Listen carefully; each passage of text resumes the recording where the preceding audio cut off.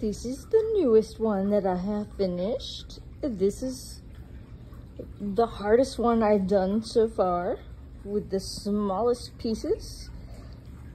It was very difficult to do and took a very, very long time. It's a little cabin. That's a boat. We've got all the trees. Pretty trees. There's a little doggy and a little cat. And you can come up here and you can actually look into the house. There's the bedroom. Oh shit. It does fall apart easily, so you gotta be careful. Because I just destroyed a tree, unfortunately.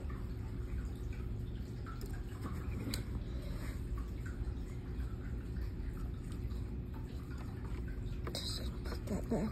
Oh shit. Once it starts falling apart, they all start falling apart. It's very difficult to do. Very, very difficult.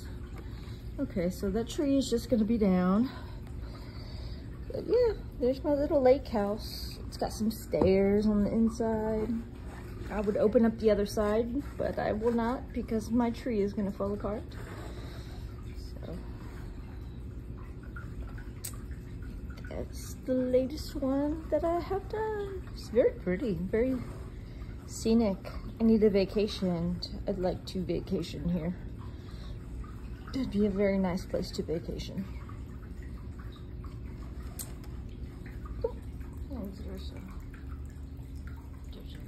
In, conked out in the balloon, in the paper. Look at me, I'm looking like a bug on a rug. Bug on a rug, look at me.